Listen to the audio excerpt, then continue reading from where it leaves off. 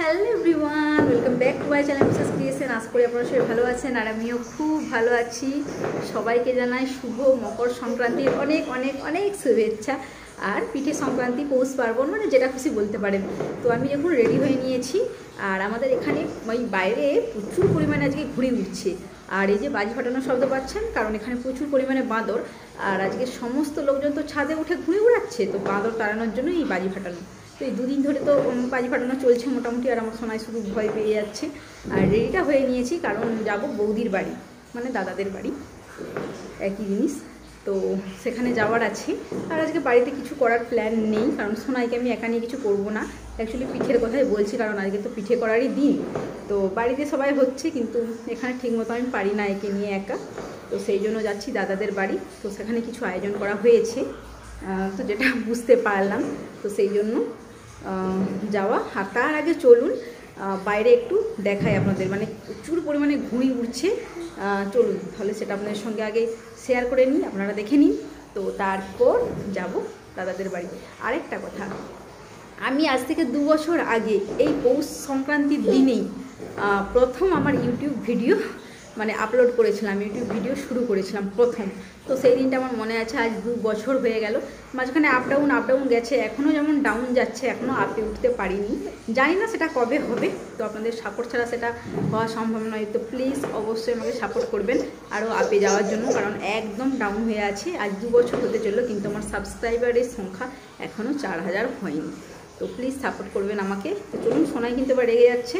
বাইরের একটু ঘুড়ি ঘুরানোটা দেখে নিই, তারপর সেখানে যাব।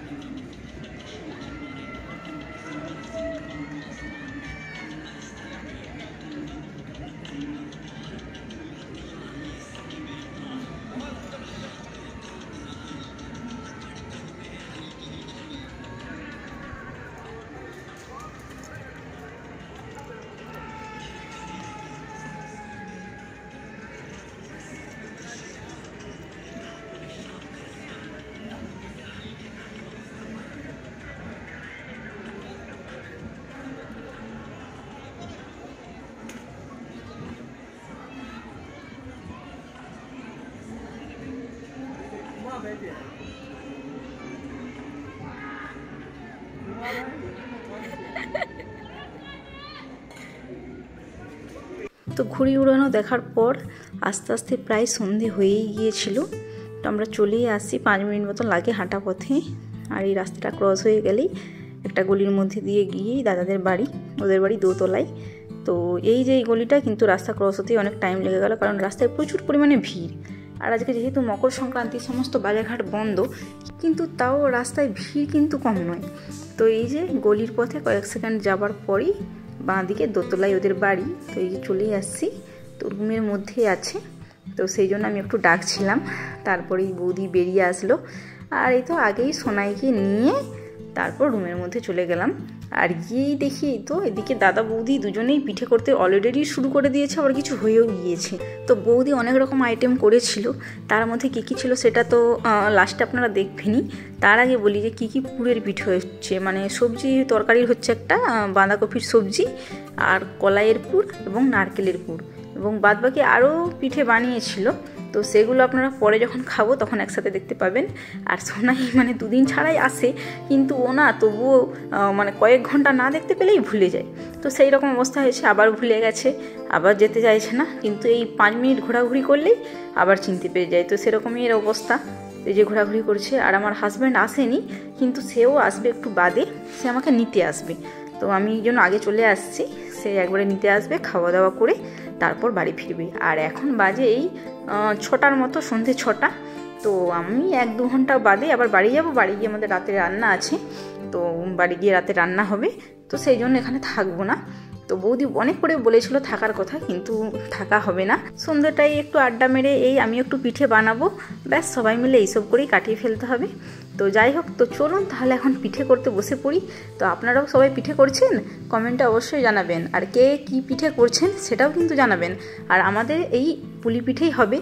আর বৌদি হয়তো আরও কিছু বানাবে, সেটা পরে আপনারা দেখবেন কি বানায়। তো চলুন তাহলে একটু পিঠে করে নিই।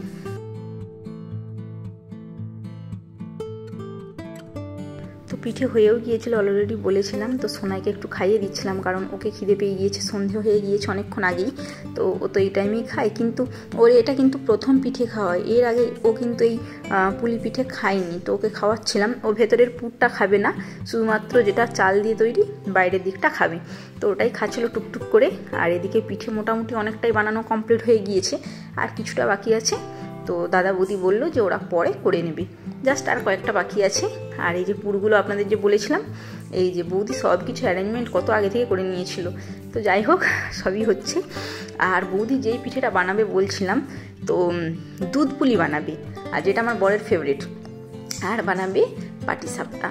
তো এই দুটোই আমার বড় ফেভারিট ওই জন্য বলছে যে জামাই আসবে তো তো জামাইকে তো খাতির করতে হবে।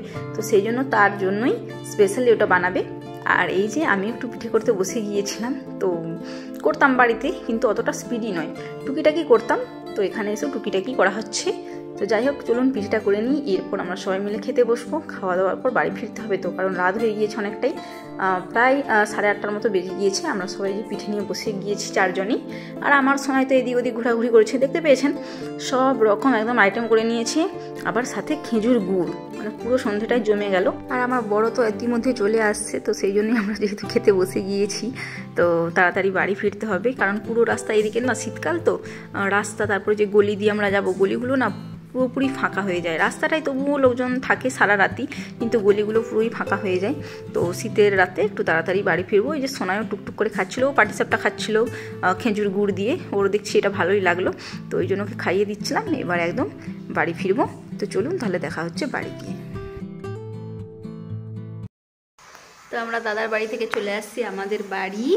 আর এসে আমার রান্না হয়ে গিয়েছে, ভাতটা আপাতত হচ্ছে। আমি সোনাইকে যে খাওয়াবো। কিন্তু সোনাই এত কান্নাকাটি করে এখন। প্রচুর দুষ্টু হয়েছে প্রচুর দুষ্টু, তাই তো? প্রচুর দুষ্টু তো।